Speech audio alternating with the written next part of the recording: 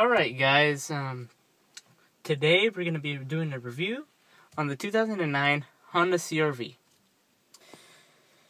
Here we have the dual zone automatic climate control. Hope you don't mess anything up on that part. Um, I'm sure sure nothing's gonna happen because this thing's off. It has XM satellite radio navigation. You can zoom in, zoom out.